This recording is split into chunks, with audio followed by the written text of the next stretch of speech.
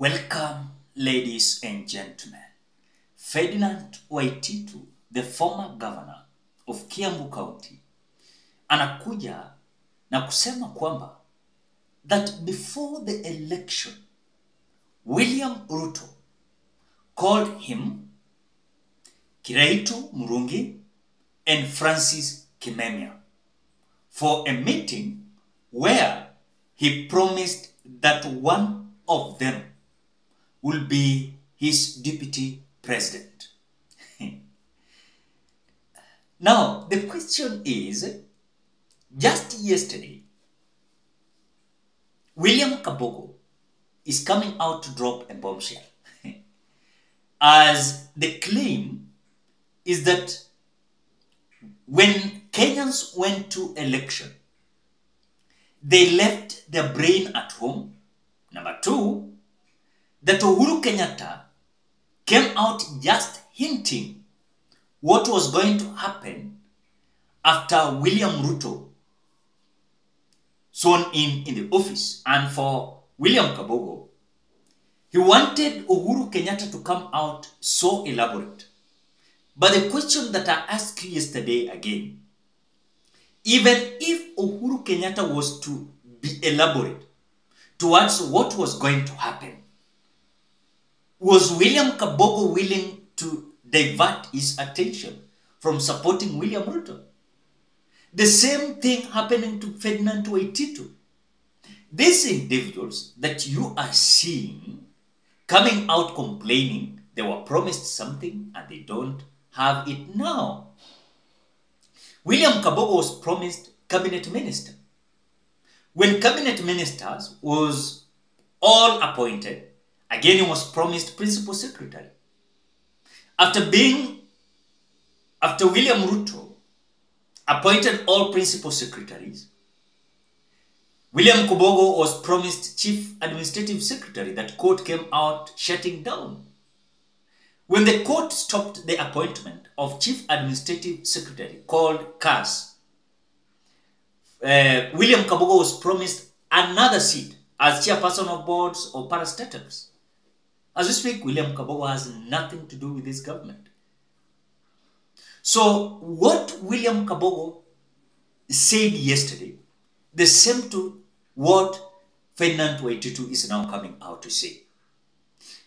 But the question is, even if William Ruto was serious towards appointing in between Ferdinand Waititu, Francis Kimemia, and Ferdinand, uh, of course, and um, Kiraitu Murungi, who was likely to be the deputy president.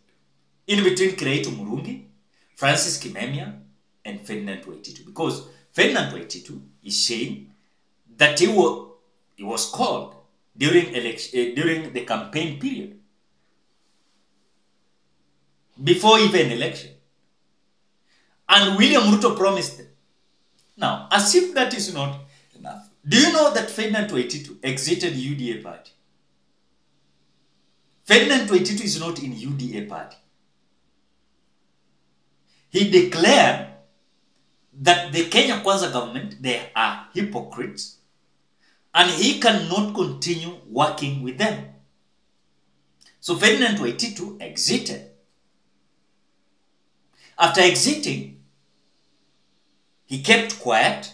He never came out even altering any kind of words or even suggestions when it comes to the government of William Ruto. What he did, he kept quiet.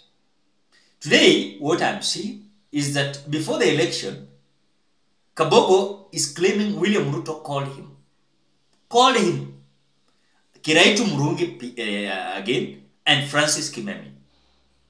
The basis of this meeting was either three of them, or rather, either one of them amongst the three was going to be the deputy president, running mate of William Ruto.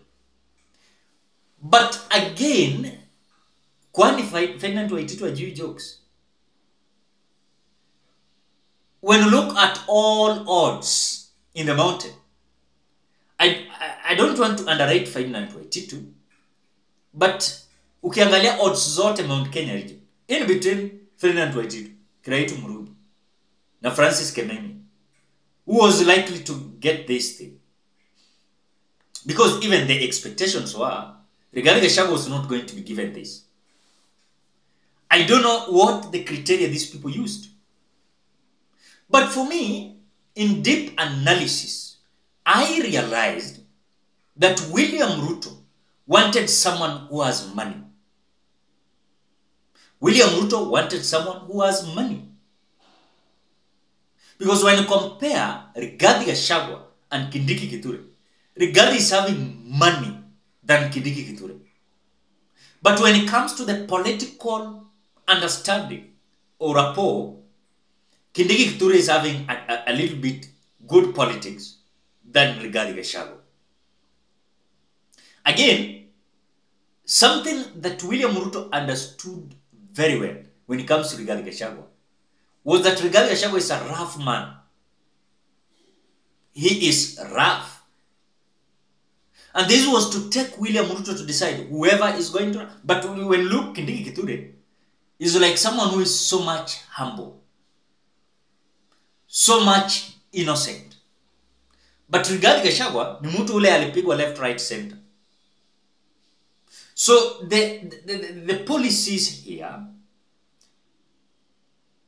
let me say in terms of the selection of the mate, for me Ferdinand Waititu, though we should not underrate anyone because Ferdinand Waititu was the former governor of Kiambu, but the truth is, even despite of that, remember one thing, Ferdinand Waititu immediately William Ruto took over and sworn in in the office. He was promised a job. And the job that he was given to be the chairperson of Nairobi River, I think, the Nairobi River, something like that. Then, because of the appointment was not in accordance to the law, then it made William Ruto to scatter this committee where Ferdinand Waititu was the chairperson. But now, immediately William Ruto took over. When Ferdinand was given this, then it was scattered because of the rule of law. Then Ferdinand Waititu waited for a, another job. He waited, nothing was coming on his way.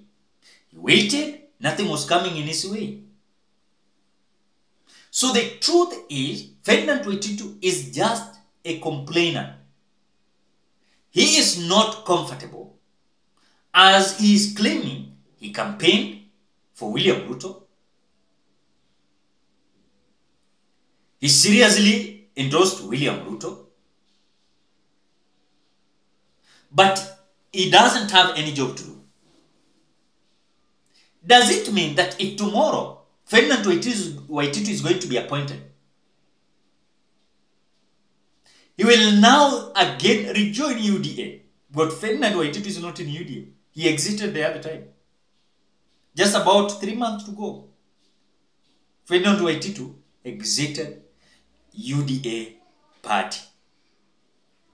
And after exiting UDA party,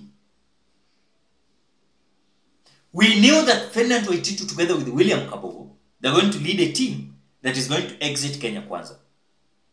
So what I know, even if it will take time, I know William Ruto will come at the end of his eh, first term. He will decide even to appoint Waititu, William Kabogo and those who are making noise. At least to have somewhere wanaweza pata salary na wanaweza kuwa na security na gari ya serikali. For them not to come out and continue destroying him. So William Ruto is also calculating, these people are continuing to destroy me. Let me do what it is expected of them. They will be, uh, they will be appointed. You saw even the other time, William Kabogo had a meeting with William Ruto in State But still, William Kabogo is so bitter, Waititu so and other individuals in the mountain. Can they come up with a team that will destroy William Ruto in the mountain? Yes, they can. They can. Together with others in Azimio, they can. Even if they will not be in the Azimio, but they will destroy William Ruto terribly in the mountain. Ladies and gentlemen, what do you think? Drop your opinion at the comment section below. Otherwise, thank you so much because of great support. Please consider subscribing, liking, commenting. and sharing this video. Bye bye till you meet on